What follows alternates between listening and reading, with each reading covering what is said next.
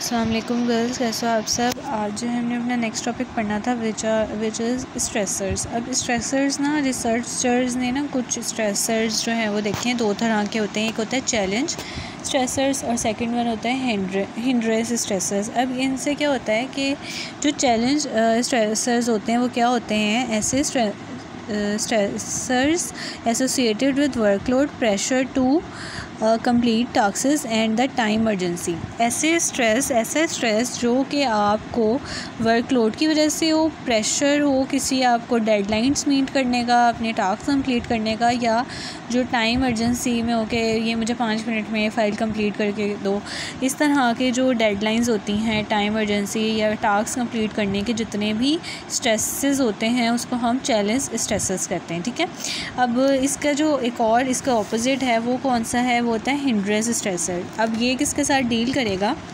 ये डील करेगा stressors that keep you from react reaching your goals for example red tape office politics confusion over job responsibilities ऐसे stress जो कि आपको आपके गोल्स अचीव करने से रोक रहे हो, ठीक है? जैसे कि ऑफ़िस में पॉलिटिक्स है आपका सही काम कर भी रहे हो तो कोई इंक्रेजमेंट नहीं है, या आपकी जॉब की जो रिस्पॉन्सिबिलिटीज़ हैं, उसकी बहुत ज़्यादा आप पे बर्डन है या कन्फ्यूजन्स हैं तो ये दोनों जो हैं, आपस में बहुत ज़्यादा कह लो कॉन्फ्रेंट है। हिंड्रेंस स्ट्रेसर और सेकेंड वन है चैलेंज स्ट्रेसर जो चैलेंज स्ट्रेसर होता है, उसमें बेसिकली ये है कि आपको जो है काम का प्रेशर है और आपको जो है वो टाइम डेडलाइंस मीट करने का प्रेशर है, लेकिन जो हिंड्रेंस है उसमें आप ऑर्गेनाइजेशन पॉलिटिक्स या जो ऐसी कुछ फैक्टर्स जो कि आपको आपके गोल अचीव करने से रोक रहे हो, उस चीज़ का स्ट्रेस है, ठीक है? Although research is just starting to accumulate, early evidence suggests uh, challenge st stressors produce less strains than hindrance stressor. अब क्या बात है इसमें नोट करने वाली वो ये कि जो चैलेंज स्ट्रेसर्स हैं वो लेस स्ट्रेन जो है स्ट्रेन मीन जो लेस स्ट्रेस जो है पैदा करते हैं बनस्बत इसके ठीक है अगर आपके गोल्स अचीव नहीं हो रहे होते ना तो क्या होता है कि आपकी बहुत ज़्यादा जो है आप डिप्रेस रहना शुरू हो जाते हो, ठीक है? अगर आपके ऑफ़िस या आपके जो इन्वायरमेंटल पॉलिटिक्स वगैरह का इस तरह का कोई सीन हो तो क्या होता है, वो आपके अल्टीमेटली पर्सनैलिटी को डिस्करेज करता है या आपके ऊपर नेगेटिव इम्पैक्ट डाल होता है। फिर आता है researchers have sought to clarify the condition under which each type of stress exit it appears that employees who have stronger effective commitment to their organization can transfer psychological factor into great focus and high sales performance whereas employees with low levels of commitment perform worse under stress and when uh, challenge uh, stress increases those with high level of organization support realize high role based performance but those with low level of organization support do not अब यहाँ पे उन्होंने बात की है कि एक employ है अगर उसका कमिटमेंट लेवल हाई होगा अगर उसका ऑर्गेनाइजेशन सपोर्ट लेवल हाई होगा उसका मोरल लेवल हाई होगा तो क्या होगा वो अपने स्ट्रेस को पॉजिटिव यूज़ करते हुए क्या करेगा हाई सेल परफॉर्मेंस करेगा और हाई रोल बेस्ड परफॉर्मेंस करेगा। लेकिन कोई ऐसा जो जिसका बहुत ज़्यादा वीक है या लो लेवल्स ऑफ़ कमिटमेंट्स हैं तो वो अपने स्ट्रेस की वजह से और ज़्यादा वीक परफॉर्म करेगा। और क्या करेगा? ऑर्गेनाइजेशन को कोई भी हाई लेवल नहीं, बल्कि लो लेवल्स प्रोवाइड करेगा।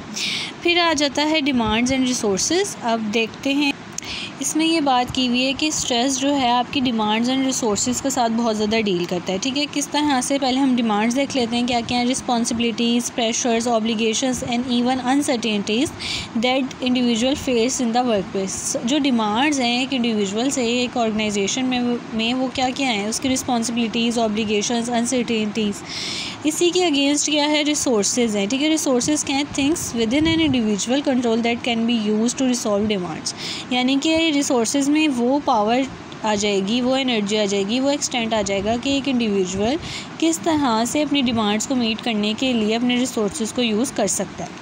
ठीक है, ये बात की हुई है, इसके बाद यहाँ पे आ जाएगा इसके बाद यहाँ पे एक और चीज़ ये थी कि more typically stress is associated with demands and resource demands are responsibilities pressures obligation uncertainties resource are the things within an individuals controls he she can use to resolve the demands let's discuss verse demand resource model means अब यहाँ पे इन्होंने एक model के बारे में बात की हुई कि ये क्या चीज़ बताता है।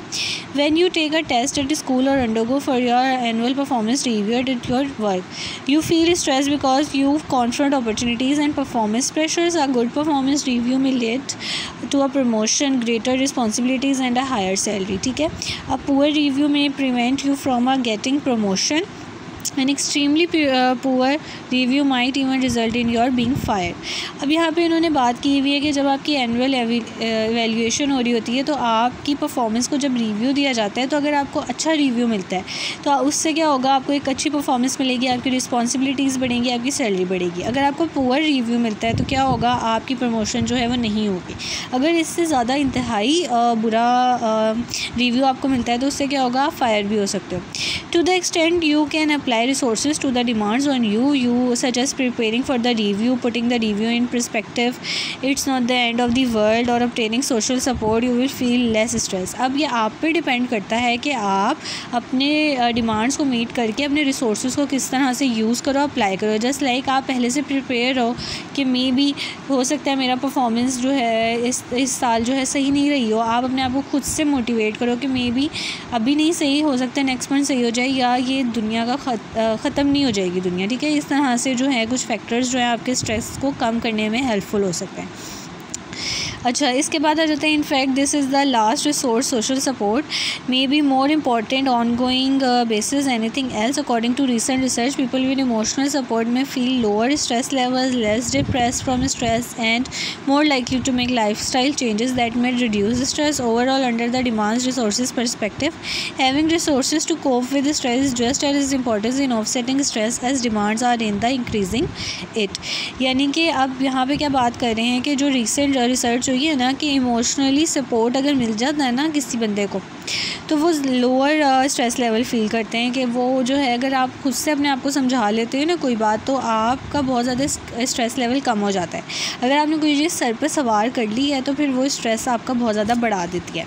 फिर आ जाता है कि फिर आ जाता है कि जो डिमांड और रिसोर्स पर परसेक्टिव पर्सपेक्टिव है, इसमें ये बात है कि जो रिसोर्स आपको दिए गए हैं स्ट्रेस के साथ कोप अप करने के लिए, अगर आप उसको इफ़ेक्टिव वे में यूज़ करो तो आप अपने स्ट्रेस को बहुत ज़्यादा ऑफसेट कर सकते हो और आप अपनी डिमांड्स को जो है, वो मीट कर सकते हो, ठीक है?